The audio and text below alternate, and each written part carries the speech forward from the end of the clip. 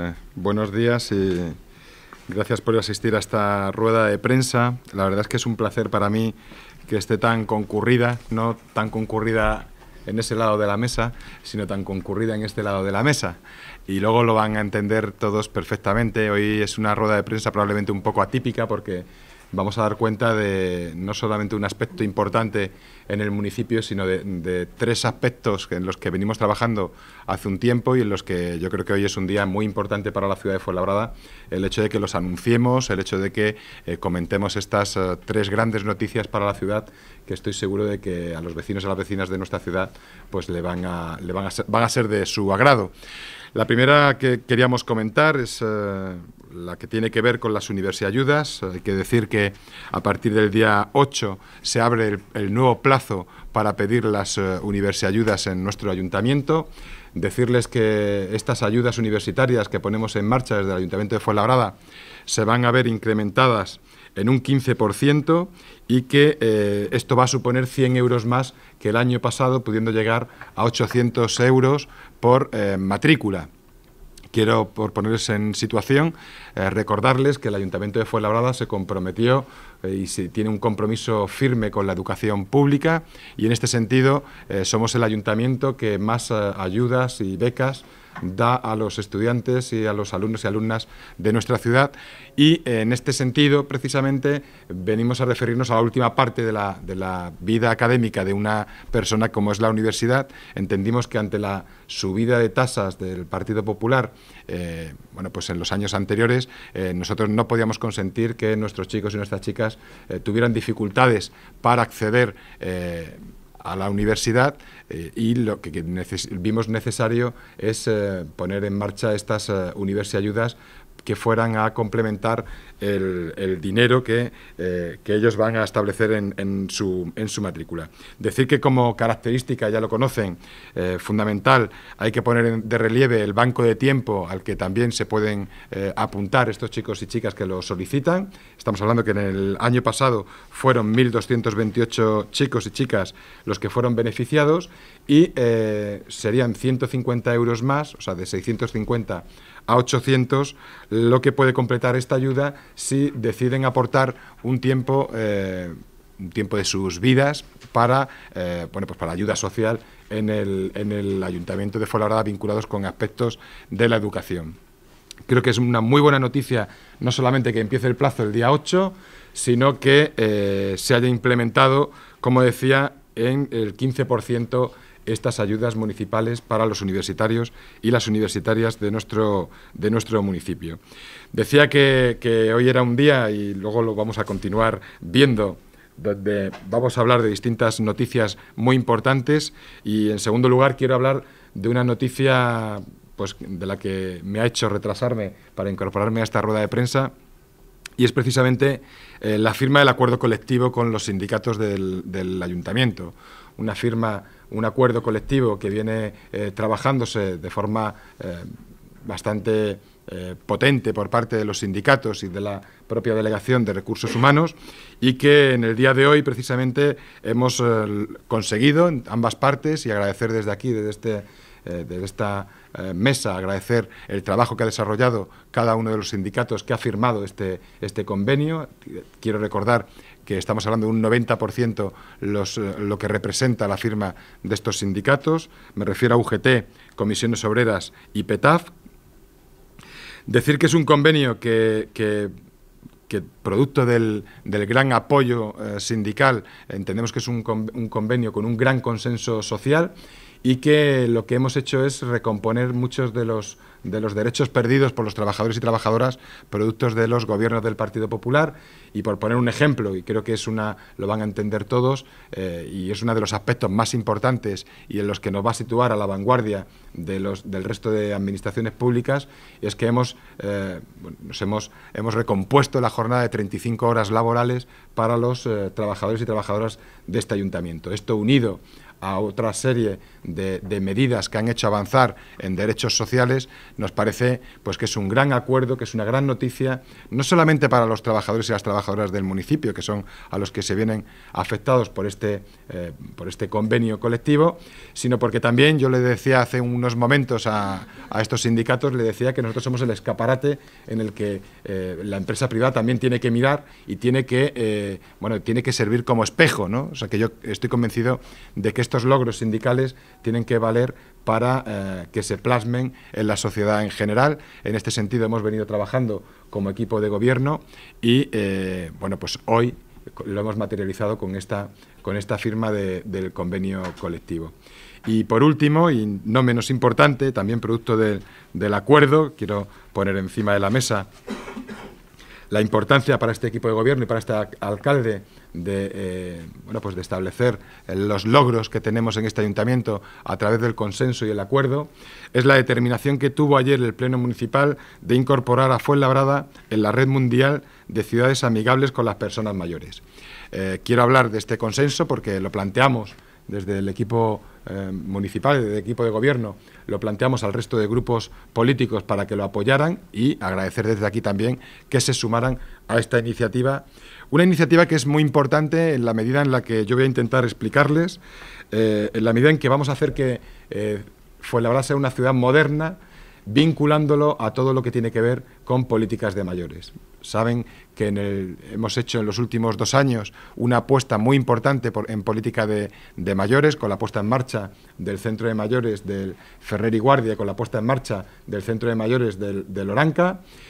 Hemos hecho una apuesta muy importante con las actividades que se desarrollan no solamente eh, con estos eh, centros, sino también con las distintas asociaciones de mayores del municipio. Y lo que entendíamos es que teníamos que dar un paso más y es sumarnos a esta red mundial de ciudades amigables con las personas mayores. No es una red al uso, es verdad que hay muchas veces que tomamos iniciativa de sumarnos a compromisos, sino que eh, es una red que está promovida por la Organización Mundial de la Salud y en la que se nos va a, testar aquellas eh, políticas que pongamos en, marcha.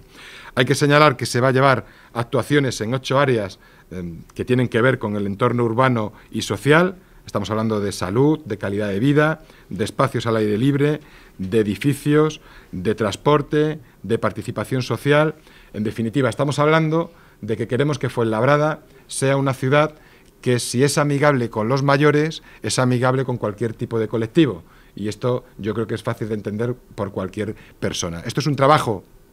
que no, eh, que no es inminente, es decir, que nos sumamos a esta red y lo que nos obliga,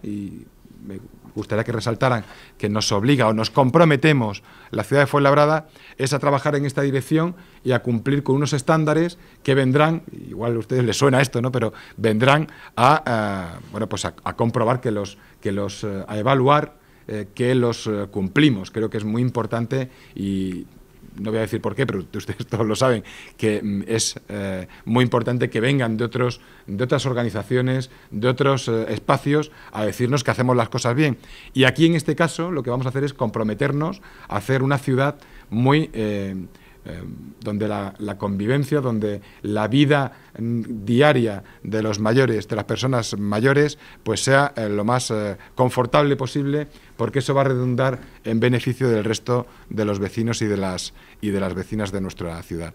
Como decía, una rueda de prensa donde íbamos a presentar tres noticias muy importantes que nos sitúan a la vanguardia que es uno de los objetivos que como alcalde me he planteado a la vanguardia de las ciudades modernas europeas. Y eh, bueno, me acompañan en la mesa y lo han podido eh, observar, por eso decía que una rueda de prensa muy concurrida. Me acompañan eh, Ana María Pérez Santiago, la concejala de, Urbanismo y de Mayores. Me acompañan Raquel López, la concejala de, de Hacienda y de Recursos Humanos y eh, me acompaña también el primer teniente de alcalde y concejal de Educación, eh, Isidoro Ortega, que eh, ellos van a profundizar más en cada uno de los aspectos que yo les, eh, les he planteado, pero a los cuales también quiero agradecer porque son los tres artífices de, de cada una de las, de las noticias que, que, les he planteado, pues hombre, agradecerles y también demostrarles que tenemos un equipo de gobierno muy potente, con capacidad de generar este tipo de actividad para la ciudad y que nos hace, vuelvo a repetir, que estemos a la vanguardia de las ciudades eh, modernas. En construir una, una red que ya era muy potente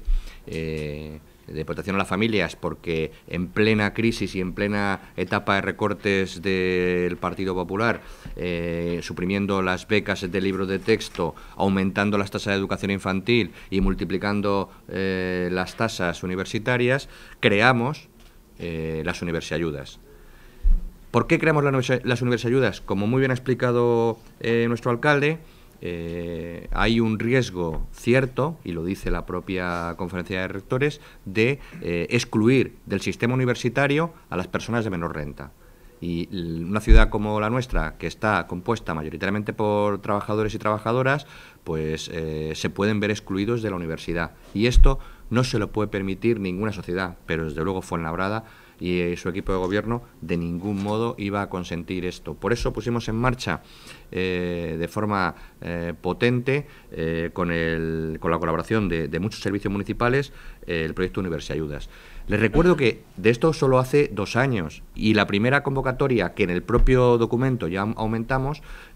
hablamos de 450 euros. Era un compromiso electoral del Partido Socialista con el que concurrimos a las elecciones, llegar a 800 euros y dos años después lo estamos haciendo. Es decir, estamos en dos años duplicando las ayudas, eh, el importe de las ayudas a, las familias. Son eh, más de 1.300 las personas que han creído en este proyecto y además es un proyecto que tiene una vertiente solidaria, es un proyecto que tiene además alma, no solo porque eh, ayude a, las familias a compensar el enorme esfuerzo que deben hacer, sino porque además está organizado por renta, es decir, que se le da más a quien menos eh, ingresos tiene, y, porque además eh, los universitarios participan en esta ciudad con el programa Banco Municipal del, del Tiempo, eh, como voluntarios durante 25 horas al año. Este año hacemos dos incrementos, subimos 50 euros los importes en el Banco Municipal de Tiempo, sin aumentar las horas, de 100 a 150, y subimos los importes hasta 650 euros de, ayuda. Es decir, que el que no quiere hacer el Banco Municipal de Tiempo, pues no hay ningún problema, no pasa nada. El plazo se abre el día 8.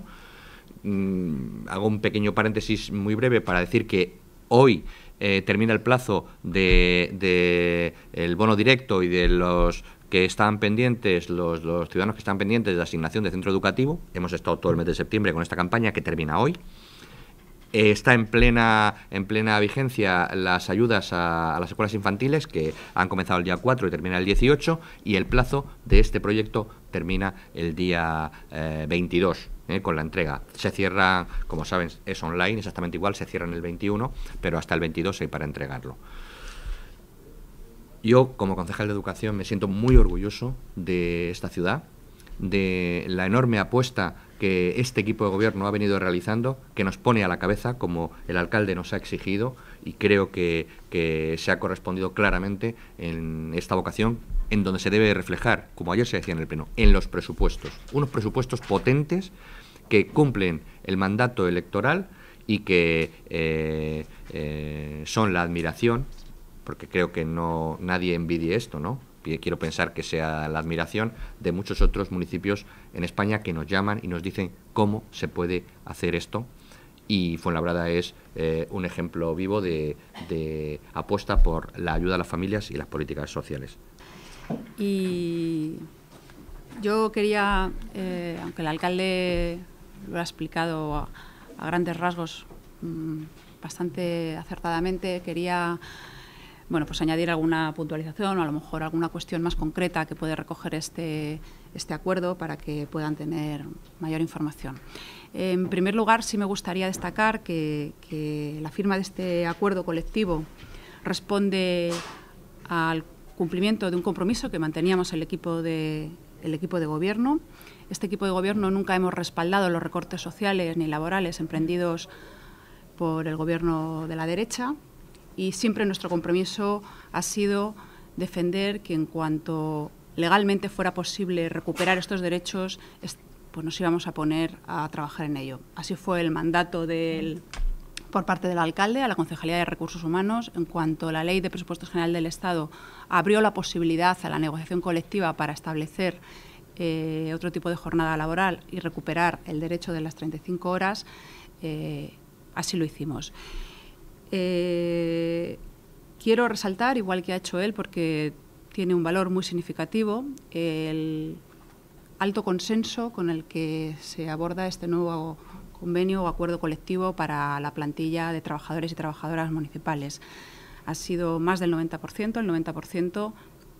de los representantes sindicales los que han suscrito este convenio, además refrendados por unas mayorías muy, muy significativas dentro de sus propias organizaciones sindicales. Eh, de hecho, nos trasladaban que se sentían altamente legitimados para, para validar este, este, acuerdo y su legitimación es la nuestra. Eh, tenemos la, la tranquilidad, la certeza y la alegría de poder trasladar que hemos firmado un acuerdo colectivo con el respaldo mayoritario de, los trabajadores y trabajadoras de este, de este ayuntamiento. Es un acuerdo que, como muy bien decía el alcalde, recupera derechos perdidos. El más significativo, porque era el más reivindicado por la parte social, era la recuperación de la jornada de las 35 horas, pero recupera también el pago del 100% de las retribuciones en caso de incapacidad temporal, es decir, en caso de enfermedad, algo que también se había eliminado por las políticas de la derecha. Pero es un acuerdo colectivo que también va más allá de, de lo que fueron los recortes. Es un, es un acuerdo de futuro,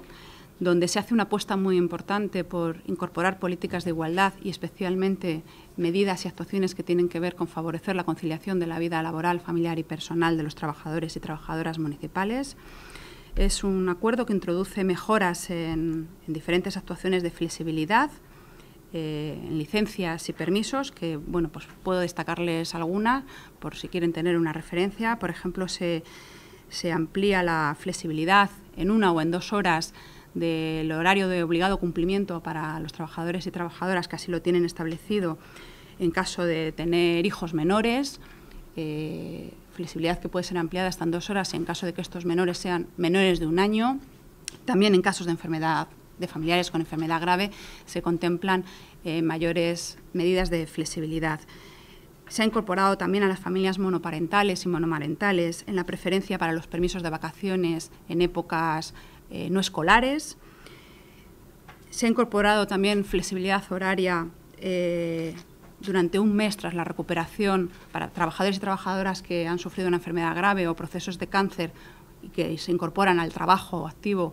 eh, pues que tengan un mes de flexibilidad para hacer una adaptación progresiva y más acorde a su y favorable a su recuperación.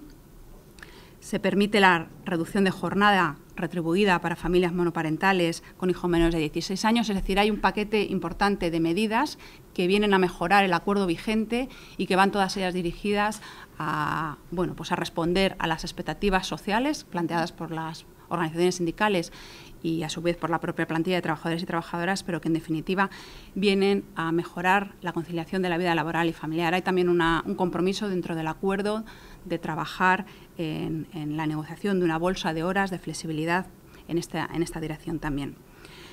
Además, eh, se apuesta eh, y yo creo que esto es una parte muy importante dentro del acuerdo colectivo por la profesionalización de la plantilla municipal. Hay una apuesta muy importante también en el paquete o en el área dentro del convenio mm, relativo a la formación. Se ha ampliado tanto el presupuesto dedicado a formación interna como las horas de formación que, de la que dispondrán los trabajadores y trabajadoras municipales. Se ha incorporado también algo muy interesante que es facilitar la obtención de certificados de profesionalidad dentro de esta formación continua para los trabajadores y trabajadoras, sobre todo aquellos trabajadores y trabajadoras de categorías más inferiores. Vamos a trabajar en la dirección. Ya hemos hecho alguna experiencia eh, este último año a través del Centro de Iniciativas para la Formación en el Empleo de que la formación eh, que le facilitamos a la plantilla pueda acabar en la obtención de un certificado de profesionalidad, que es un requisito que luego en muchas ocasiones para para los procesos selectivos barema y puntúa y queremos eh, colocar en la mejor disposición a nuestra plantilla en este sentido. Y se han incorporado otra serie de actuaciones como la apuesta por la formación predirectiva y directiva de las trabajadoras municipales. En este caso, a lo largo del acuerdo colectivo hay diferentes actuaciones también transversales que tienen que ver con promover la igualdad de oportunidades dentro de la plantilla municipal. De la misma manera, se contemplan también medidas de acción positiva, por ejemplo, en en concursos o en bolsas de, trabajo temporal. En caso de empate, uno de los criterios de desempate será eh, el sexo menos representado dentro de esa categoría profesional, de manera que podamos ir promocionando que eh, las mujeres que estén menos representadas en categorías profesionales puedan tener como criterio de desempate ese punto, o a la inversa, que los hombres que estén menos representados en determinadas categorías profesionales puedan tener esa facilidad de incorporación. Em, yo quería finalizar, para no extenderme, puesto que es una mesa muy amplia, como decía también el alcalde, eh,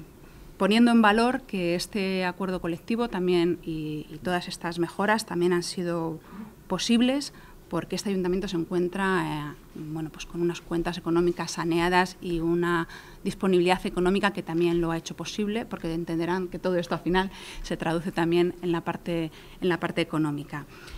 Pero quiero pero quiero decir que también eh, el objetivo último de la Mesa General de Negociación, no solamente de esta parte, también compartido con la parte social firmante, ha sido eh, acordar un, acuerdo, un, contexto que nos permita seguir prestando los mejores servicios de calidad a los vecinos y vecinas. Este es el objetivo último. Somos una administración pública, tenemos que ofrecer calidad. Siempre hemos defendido el empleo público desde el equipo de gobierno y siempre hemos mantenido que desde el empleo público eh, se ofrece la mejor calidad para nuestros ciudadanos y ciudadanas. Y ese espíritu está en este acuerdo porque también entendemos que contar con la mejor plantilla, mejor preparada y con mejores facilidades para desarrollar su trabajo beneficia a los vecinos y vecinas con unos servicios de calidad. Bueno, pues muy buenos días a todos y a todas. El, primer, el tercer proyecto que vamos a presentar esta mañana en la rueda de prensa pues es la integración de Fuenlabrada en la red mundial de ciudades amigables con las personas mayores. Esto no viene nada más que a significar el fuerte compromiso que tiene el, equipo de gobierno con las personas mayores de Fuenlabrada de hecho, cuando el alcalde me nombró como, como concejala de, mayores, pues lo que quiso hacer es, desde mi punto de vista, es unir el concepto más amplio de, urbanismo, de ciudad, de infraestructura, con el, con el concepto de mayor. Eh, ¿En qué consiste la integración de Fuenlabrada como red mundial de la ciudad amiga de, los mayores? Pues eh, va a ser un proyecto que se va a desarrollar en cuatro fases. La primera, la primera fase va a ser el, diagnóstico de la ciudad, cómo está la ciudad, cuáles son las necesidades que, que, tenemos que acometer con los mayores. Eh, desarrollaremos un plan de acción ejecutaremos ese plan de acción y como final, como final del proyecto pues será la evaluación del mismo y ver en qué casos tenemos que mejorar y en qué casos hemos acertado con las eh, mejoras y con las ejecuciones de las obras que, hayamos realizado. Eh, este proyecto eh, lo que pretende es mm, priorizando hay que priorizar la mejora del entorno urbano para que aquellos, las personas mayores puedan pasar a, a la siguiente acción de carácter participativo, de carácter social, sanitario, cultural, eh, priorizar que las personas mayores de Fuenlabrada puedan acceder a todos esos servicios sin ningún tipo de, dependencia. Eh, como comentaba el alcalde también hace un momentito, para poder desarrollar este proyecto necesitamos eh, seguir ocho ítems que nos lo marca la Organización Mundial de la Salud a través del INSERSO, que es, la, es el organismo que se encarga de canalizar toda esta información y toda esta planificación de la Organización Mundial de la Salud y como puntos importantes que ya destacaba el alcalde, pues los, eh, eh, ver y estudiar los espacios al aire libre, los edificios, las viviendas, que eso es un punto muy importante para la independencia de los mayores, para la movilidad, para la accesibilidad, la participación social y, también un punto muy importante que desde nuestro punto de vista que es la comunicación y la información con los mayores, que es cómo se les informa. El punto más importante de, este proyecto, como desde, desde mi punto de vista, es la participación de las personas mayores, porque quién sino que las personas mayores saben lo que quieren y lo que necesitan son ellas. Entonces, nosotros vamos a, eh, formar grupos de trabajo con los mayores para que ellos o sea, que nos mm, den información de cómo ven la ciudad, qué necesita cambiar, qué necesita mejorar, y a partir de ahí haremos el plan de acción y lo, ejecutaremos. yo solamente quiero decir que, que es un, mm, un proyecto muy, muy interesante del, cual estamos trabajando con, muchísima ilusión, con muchísimo cariño desde el equipo de la Concejalía de Mayores, desde el equipo técnico de la Concejalía de Urbanismo e Infraestructuras y, estamos muy, muy contentos de que se, que se haya aprobado en el pleno de, ayer. También agradecer al, al resto de los, de los partidos políticos que se hayan sumado a esta iniciativa porque sin duda hace, refuerza de cara a la presentación en la red mundial y desde, desde mi punto de o sea, no nada más. Cualquier cosilla que necesiten preguntarme o aclararme, pues aquí quedo a su disposición.